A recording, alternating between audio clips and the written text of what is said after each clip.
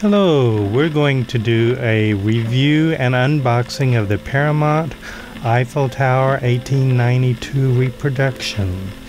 This is a reproduction of the what is variously called a skeletal telephone or the Eiffel Tower telephone. It was first introduced in 1892 and a number of different versions came out around the turn of the 20th century.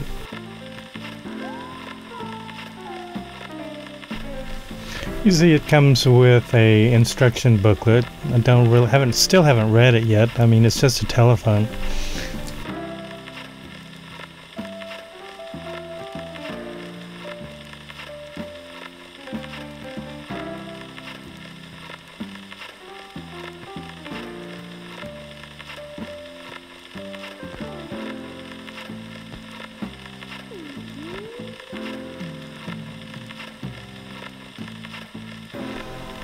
It actually seems quite substantial. I'm sort of surprised because some of the reviews I had read before ordering it had some um, not so complimentary words about its build, but I found it, it quite acceptable.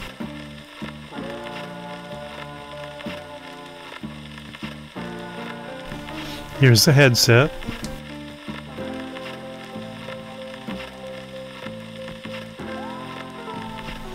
I wasn't really expecting too much from this part because a lot of people complained about its very plasticky feel, but actually I'm pleasantly surprised. I find it quite okay.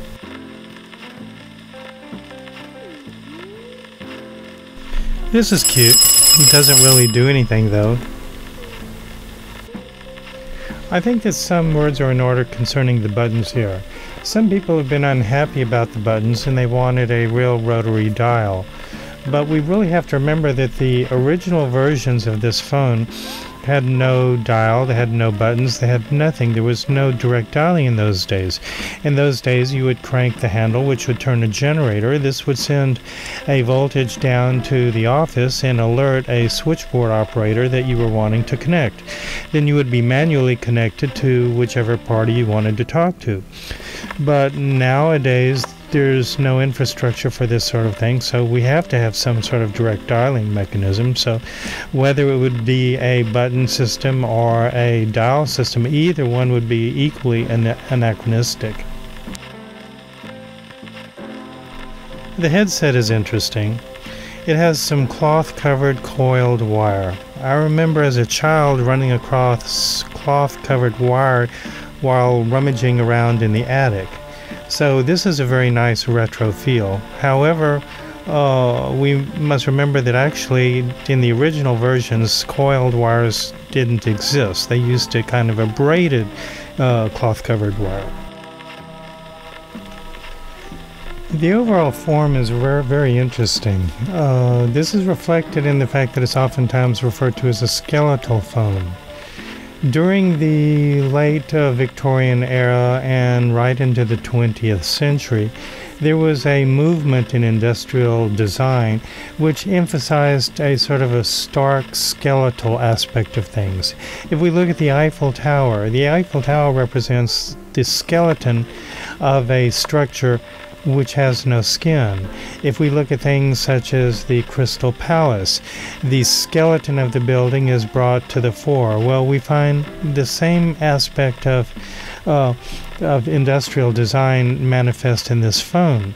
It's a, basically the skeleton of a telephone. If you look even at the, the the the legs and chassis, these are actually integral parts of the inductors inside of it.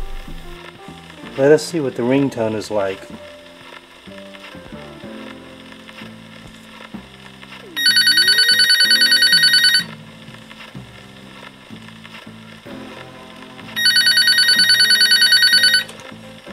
Hello, one, two, three. It would be nice if it had a more retro ringtone, but I can live with this. Alright, so let's see how the phone fits in with the decor of my uh, control room. Here in the rack and is this the phone. I've got other retro stuff, nice Wimshurst machine, some very retro pictures. King Edward VII, this is my retro clock, Victrola, various processing bits and bobs. That's my nice little retro mic for talkback. Some nice magic eye tubes. And how about these for retro speakers? Cool? Yes, well everything fits in with the motif of my control room quite nicely. And I can recommend this quite quite nicely. Very good. Thank you.